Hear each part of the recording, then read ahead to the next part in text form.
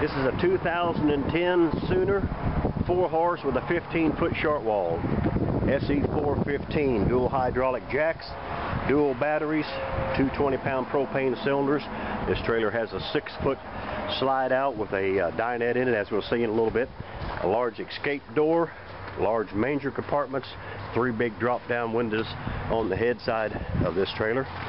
And back in the tack and horse area, four tree saddle rack with a solid tack wall lined and insulated overhead in the horse area, LED lighting along the side with a stud divider in the first stall on this trailer. Two drop down windows and two slide windows on the butt side of this 2010 Sooner. It has a large electric awning. Push the button, roll it out. Push the button, roll it in. The interior is done by Sierra, Elkhart, Indiana. That large dinette we talked about in the slide out with cabinets above the dinette. A nice big kitchen with double sinks. A recessed cooktop, two burner cooktop. Microwave, range hood. The big 6.0 refrigerator by Norcold. A nice big king size bed area. Another flip out flat screen TV that is viewable from the bed cabinets overhead above this full-size leather sofa that makes a bed. AM and FM CD DVD player. Recessed lighting, soft touch leather walls and ceiling throughout this trailer.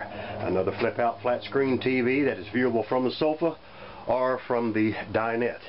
A nice big bathroom with a black porcelain stool, a nice big vanity, medicine cabinet, walk-through door to the horse area done in leather against soft touch leather walls and ceilings throughout the entire trailer.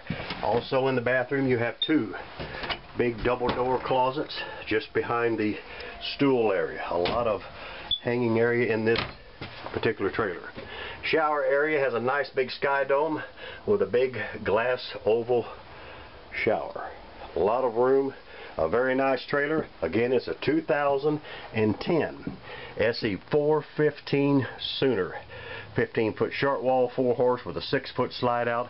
One of the nicer uh, interiors that you'll find by Sierra. For more information, give me a call at 1-800-897-9840. My name is Mike Robinson. Thank you for taking a look.